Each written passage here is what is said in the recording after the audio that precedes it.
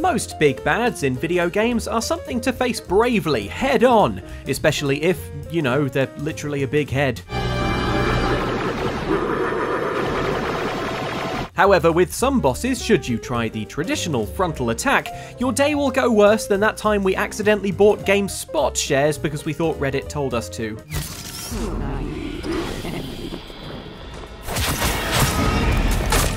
So your best and often only approach is to go for the stealthy option. Just consider these 7 bosses you snuck up behind like a total hero. Beware of spoilers for the following games.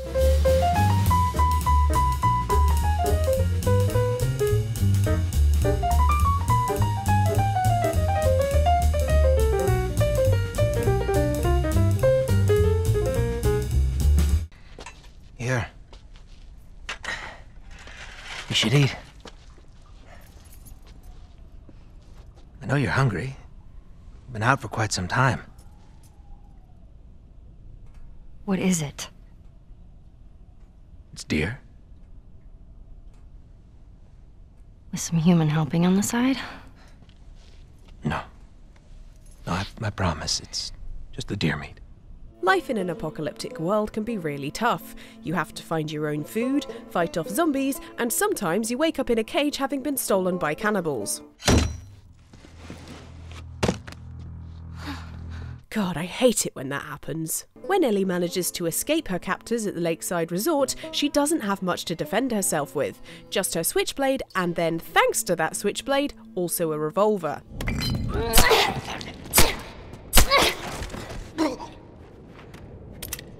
It's a good thing she grabs that knife because she needs it when she gets to Todd's restaurant. No, not because the steaks are extra tough, but because Captain of the Cannibals, aka David, steals her revolver as she tries to leave.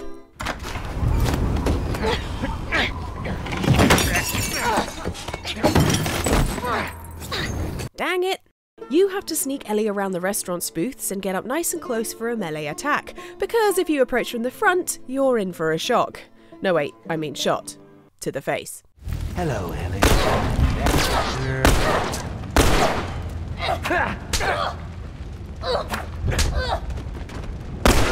Ouch. Tiny Ellie taking on David is a real David and Goliath moment, except you're David and David is Goliath. Maybe I should have chosen a better metaphor. I see. There you are, Ellie. Anyway, to make up for this disadvantage, the only way Ellie can damage David is to sneak up behind him and put a knife in his neck. That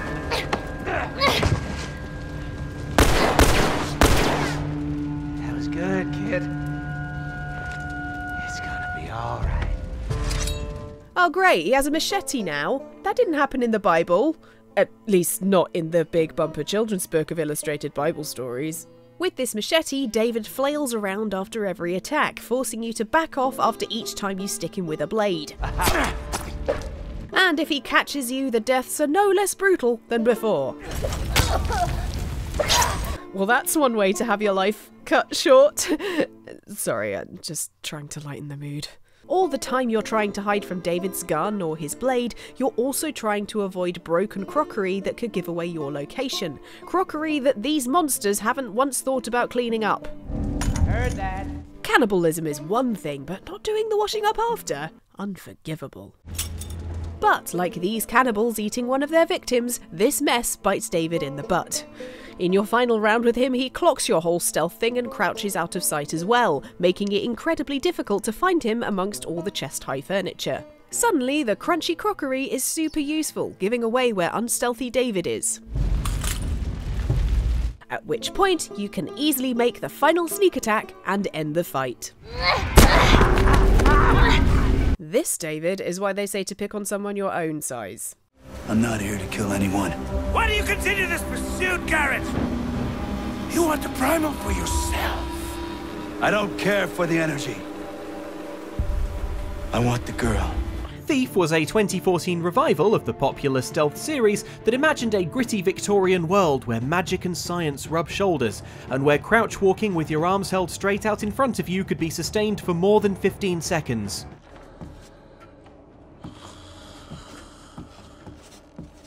Oh, feel that in the morning. Unfortunately, the game was not nearly as well received as the older Sneak 'em Up games in the series it hoped to revive, perhaps because it leaned more heavily into the parts of the thief life that involve pressing your eye up to keyholes in a haunted asylum. You shouldn't be here. Ah! Crime really doesn't pay.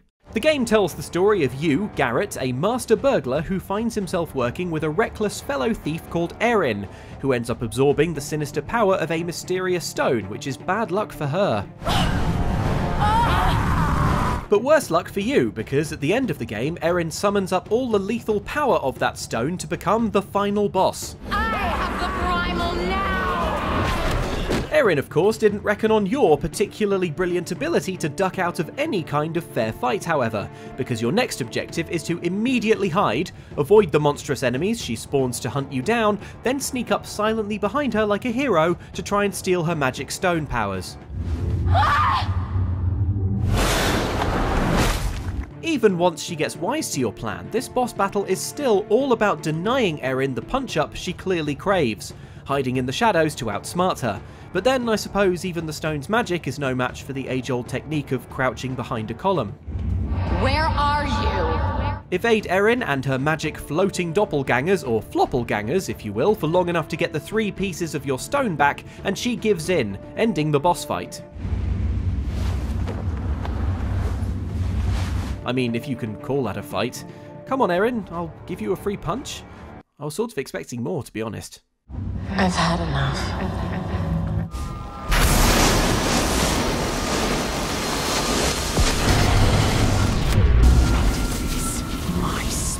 Returns. to the canvas, and I will show you my vision. When Emily Kaldwin first meets Delilah Copperspoon in Dishonored 2, it's clear that this powerful witch is not someone to be messed with. Cast you in cold marble. So, when you finally have to face her in a nightmare painting world, it's understandable that you don't want her facing you at the same time. But even if you miss that lesson, you'll quickly learn that head on is not the best route to take.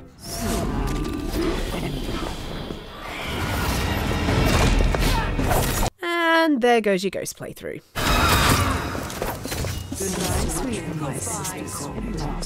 See, you're in Delilah's world now, and she has backup in the form of magical replicas watching her fake painted throne. So, even if you do try to stealthily and non lethally neutralise the Delilah sitting on it, all those replicas will be alerted and come to mess you up. One option the game gives you is to sneak around and destroy the replicas one by one.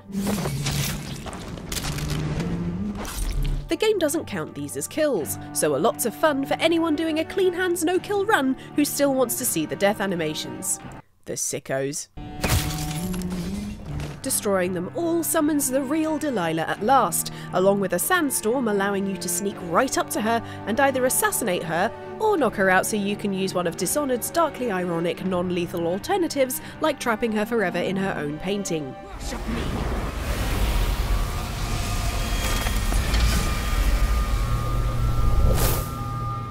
Man, not even a cool painting like the ones with the dogs playing poker. This might not be the epic showdown Delilah was expecting, but frankly, she should be grateful. After all, one alternative to all this is to go directly above the entrance where you come in and choke out the real Delilah immediately and extremely easily.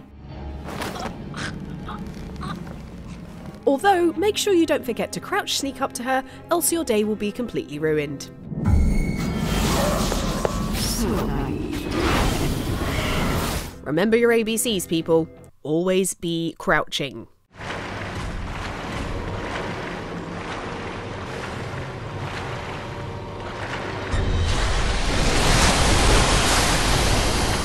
Sekiro Shadows Die Twice is a game that tells the serious story of a shinobi bodyguard on a quest to rescue his young ward, and considering how somber and melancholic in tone the story is, you end up fighting what some would consider a weird amount of comically oversized animals.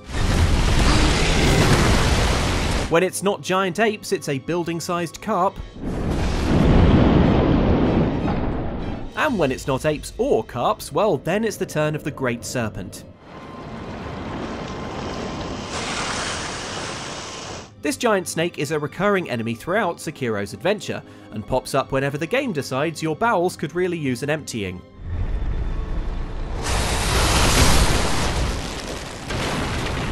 Yep, good and empty. Thanks, game. Avoiding becoming lunch for this train-sized pearlescent serpent will test your stealth skills to their limits, and often involves crouching perfectly still, waiting for the only acceptable moment to make a break for the next bit of cover.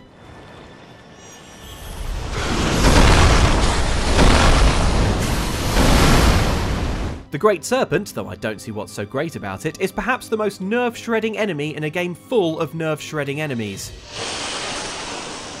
Not least because, as you flee from its hissing maw, you'll doubtless be mulling the fact that this presumably is all leading up to a cataclysmic and terrifically hard boss battle, in which you will have to watch poor Sekiro get bitten in half over and over.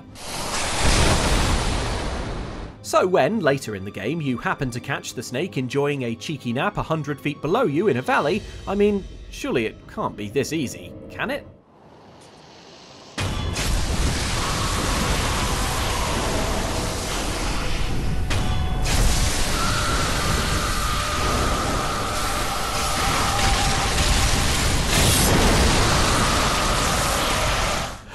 Have some of that, snake! Right then, now we know how it's done, back to the carp. When do fish nap exactly? Oh, that's right. Never.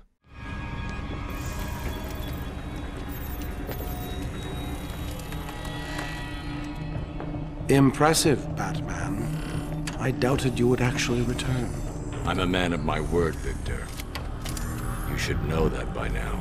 In Batman Arkham City, Batman forms an icy allegiance with Mr. Freeze, one that quickly shatters when you reach Gotham City Police Department HQ. How are you feeling? You look unwell. Give it to me. I'm afraid I cannot do that, Batman.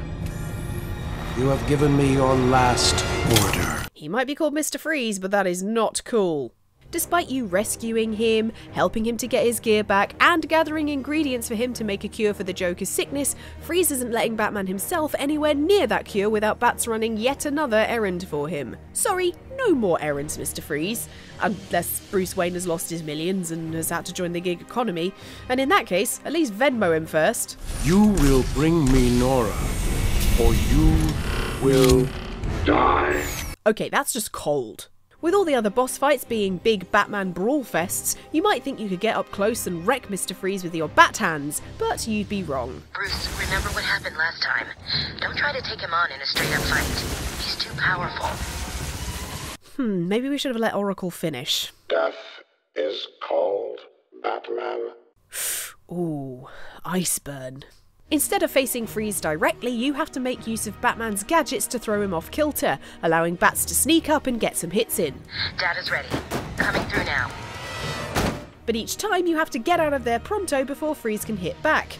Plus, he learns from your methods, freezing up any tricks you previously used, forcing you to try a different approach. You have to hide and keep moving, as Freeze follows the heat signature from your footprints. I can see where you have been. And he even sends heat seeking drones to find you when he loses track of you.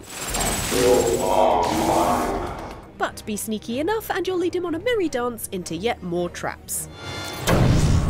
The most satisfying way to get a hit in on Freeze is to sneak up directly behind him. For instance, you can do a crafty takedown from a floor grate. Get off me! And when the grates are all frozen up, you can still go for the classic silent takedown. Go! Well done, Bruce! You did it! Yikes, Bruce. Guess that Venmo never came through.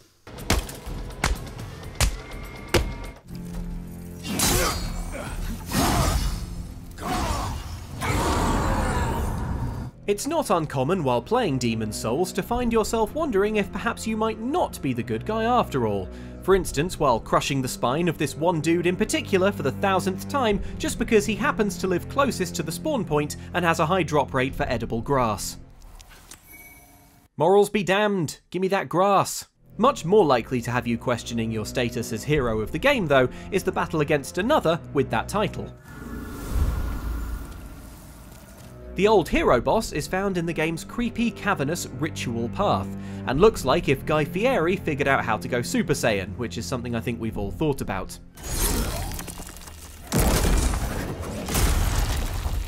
You'll soon realise that the old hero is a little clumsier than that backflipping introduction would lead you to believe, because his eyes, if indeed he has any, are completely covered. Being blind to his surroundings, by far the smartest and simplest way to handle this boss is to creep up slowly behind him so he has no way of telling where you are, until the part where you smack him terribly hard with a stonking great sword of course. Which is your cue to back off, lie still, and wait patiently for the old hero to stumble off, so you can creep up and jab him in the back again with no adverse consequences. Then hide once more, which gives you plenty of time to think about how actually this may not be the most heroic behaviour.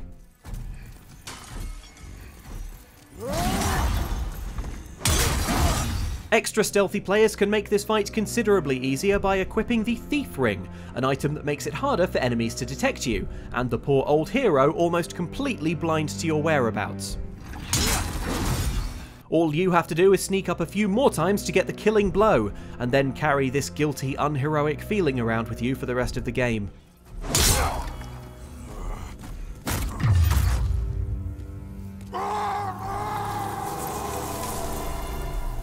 Or at least until your next visit to Stockpile Thomas in the Nexus hub world. You have a heart of gold. Don't let them take it from you. Thanks, Thomas. See, Thomas gets me.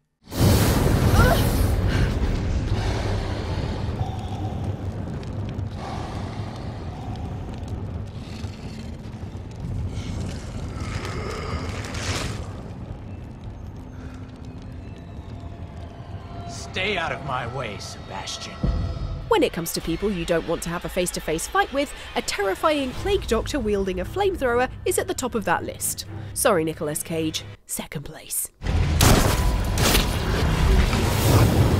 Such is the case with Liam O'Neal in The Evil Within 2. Once an ally to hero Ethan, you meet him again after he has been brainwashed by evil cult leader Father Theodore Wallace and turned into a harbinger, which is a posh term for a terrifying plague doctor wielding a flamethrower. You'll never understand. For that, you'll burn! Facing Liam and his fiery attacks directly is, surprise, an extremely bad idea. Not only because he'll make you rinse your ammo and health syringes faster than drinks at an open bar, but also because there is a much easier, much sneakier way to destroy him. Liam tells you to stay out of his way before the fight starts, and if you take that advice literally, he quickly loses track of you. This allows you to get right up behind him for a super heroic stab in the kidney. I'm sorry, Master. I won't let him get away. I promise. Ooh, make that both kidneys. Look, mate, you've got a flamethrower. Let's not talk about fairness here. Once you've pulled your knife out of his abdomen, all you have to do is leg it back to a hiding place and repeat this process over and over again, because Liam doesn't ever learn from his mistakes or apparently know how many kidneys he has. Alright, Nicolas Cage, you're next. Name the time and place.